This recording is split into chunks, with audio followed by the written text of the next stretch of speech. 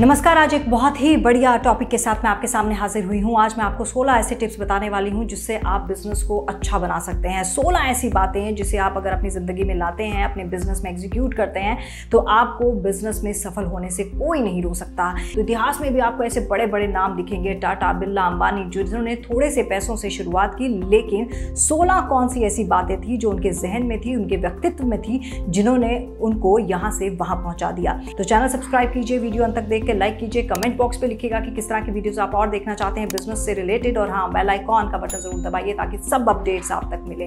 तो चलिए शुरुआत करते हैं। तो 16 टिप्स में सबसे पहला फैक्टर जो रिस्पॉन्सिबल है आपको बिज़नेस को यहाँ तक लाने में, आपको यहाँ तक लाने में, वो है रिस्क असफलता के डर से मत डरो, जोखिम उठाओ। कहते हैं, जो लोग जोखिम उठाते हैं, किस्मत उनके साथ चलती है। फेलियर्स असफलताओं और मुसीबतों के लिए हमेशा तैयार रहें। जोखिम बिज़नेस का पहला कदम है और असफलता दूसरा। कोई भी व्यक्ति मुसीबतों और असफलताओं के बिना सफल नहीं हो सकता।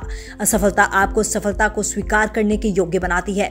असफलता से मिलने वाली सीख के दम पर ही आप सफलता की ओर आगे का रास्ता तय कर पाएँगे।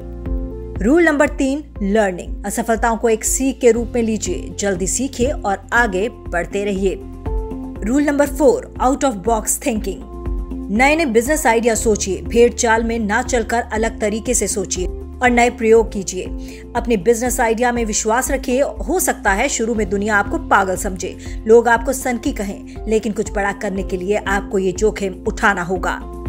रूल नंबर पाँच सॉल्व प्रॉब्लम्स कोई भी नया बिज़नेस आइडिया बहुत कम समय में तेज़ी से सफल हो सकता है।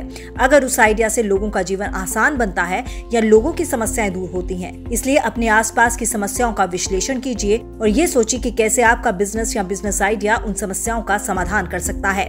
रूल नंबर छह लीडरशिप नेतृत्व कीजिए बी अ लीडर और स्वयं को जिम्मेदार बनाइए। एक टीम के कैप्टन की तरह अपनी टीम का नेतृत्व कीजिए। रूल नंबर सात टीम बिल्डिंग अच्छे लोगों की टीम बनाइए, व्यवसाय में पैसों से ज़्यादा लोगों को महत्व दीजिए। आपके व्यवसाय में काम करने वाले लोगों को कर्मचारी ना मानकर एक साझेदार के रूप में देखिए। अपने लोगों पर भरोसा रखिए और उन्हें मौके दीजिए। रूल नंबर आठ शेयर प्रॉफिट्स व्यवसाय में होने वाले फ़ायदे को सभी में बांटिए। आपका बिज़नेस तभी आगे बढ़ सकता है जब आपकी टीम के लोग आपके बिज़नेस को अपना मानते हों। रूल नंबर नौ मोटिवेट सिर्फ़ पैसा काफ़ी नहीं है।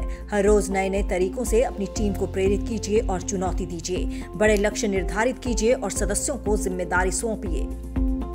रूल नंबर दस कस्टमर सेटिस्फैक्शन कस्टमर की जरूरतों को समझिए और उनको उम्मीद से ज़्यादा दीजिए। कोई भी गुणवत्ता से समझौता मत कीजिए। अगर क्वालिटी शानदार है तो बिना विज्ञापन की सहायता से आपका बिज़नेस तेज़ी से सफल होगा। लगातार फीडबैक दीजिए और अपने प्रोडक्ट या सेवाओं को बेहतर बनाइए। रूल नंबर ग्यारह फाइनेंशियल मैनेजमेंट मनी मैनेजमेंट सीखिए। बिज़नेस में पैसे किसी इंजन में पेट्रोल की तरह है जो बिज़नेस को चलाते हैं। विश्लेषण कीजिए कि कहाँ कहाँ आप अपने खर्चों को कम कर सकते हैं और किस तरह से अपना रेवेन्यू बढ़ा सकते हैं। रूल नंबर ट्वेल्व कॉम्पिटिटर्स प्रतिस्पर्धा और व्यावसायिक वातावरण को समझिए। ऐसे इनोवेटिव आइडिया सोचिए जिससे आप पूरे मार्केट को अपनी ओर खींच सके। अपने बिज़नेस या प्रोडक्ट की एक ऐसी खूबी तैयार कीजिए जो किसी भी कंपटीटर के पास ना हो।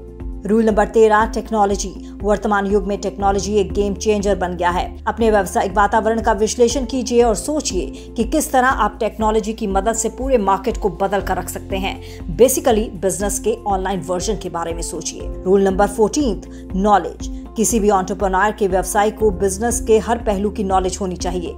ये पता होना चाहिए कि बिज़नेस में कौन सी चीज़ें किस तरह से करनी है। रूल नंबर पंद्रह पार्टनरशिप अपने बिज़नेस में अधिक से अधिक लोगों को जोड़िए। अलग अलग बिज़नेस के साथ पार्टनरशिप कीजिए और सुनिश्चित कीजिए कि आप मिलकर किस तरह एक दूसरे की मदद कर सकते हैं। Rule number sixteen be ready changes के लिए हमेशा तैयार रहिए और अपने बिज़नेस को बदलते हुए वातावरण के अनुकूल बनाइए।